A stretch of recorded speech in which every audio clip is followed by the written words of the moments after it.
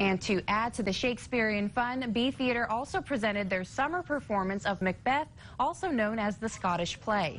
Shakespeare on the Concho has become an annual tradition on the SAMFA lawn, adding a fun twist to the well-known plays. There'll be another performance of Shakespeare on the Concho next weekend on June 15th and 16th at 7 p.m.